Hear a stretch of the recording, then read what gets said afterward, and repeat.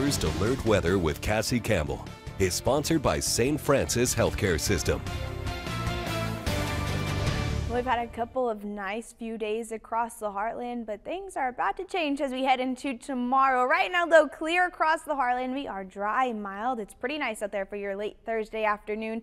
As we head into this evening, most of us are still going to stay under some partly cloudy skies. The clouds slowly filter in as we head into Friday. Friday morning, heading out the door, we are tracking the chance for a few spot showers early in the morning. Then we'll see those rain chances just steadily increase throughout the late late morning, early afternoon. By the time we get into Friday afternoon, this is around 3 o'clock, we are going to see that transition from the rain to more of the sleet, snow as those temperatures continue to drop throughout the day. Winds are also going to be pretty breezy out of the north, bringing in those cold temperatures as well as this cold front pushes through. That's bringing the chance for a little bit of this snow across the heartland into Friday evening, still seeing a little bit of that lingering snow across the heartland. Overall, not expecting a whole lot of snow accumulation, but there is a chance to wake up to, uh, to wake up. There is a chance later in the afternoon, early evening to see a little bit of accumulation, mainly on grass, grassy or elevated surfaces. Travel impacts are possible late Friday evening as this continues to work out of the heartland. Temperatures dropping below freezing Friday night into Saturday morning, and they're going to stay just at that freezing mark until we get into the afternoon. Sunny skies for Saturday. We will dry out late Friday night into Saturday, but those very cold temperatures come back in for Saturday evening.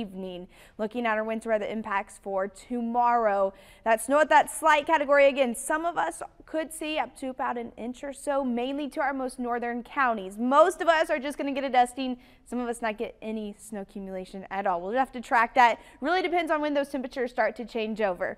We do have that chance for a little bit of sleet, but also our wind chills, very strong, very cold wind chills as we head into Friday evening and Saturday evening. Temperatures in the 20. That means wind chills in the teens for us Friday night kicking off your weekend. Downtown Cape looking beautiful right now. Sunny skies, temperatures pretty mild. Waking up tomorrow morning will be in the upper 20s to lower 30s across most of the heartland. By the time we get to the afternoon, not going to heat up a whole lot. Upper 30s to 40s, might hit 50 down towards Tennessee, towards our most southern counties, 52 in Union City, but 41 in Cape, 38 in Marion. And as that cold air starts to push in, it is going to feel quite cold for your Friday evening. Look at that 23 Friday night wind chills in the teens, 39 on Saturday. At least that sunshine is going to be out and about for your weekend. We'll gradually see those 50s return by Sunday. So just about two days of this very cold weather before we start to see a warm up back in store for us heading into next week. 57 by Monday,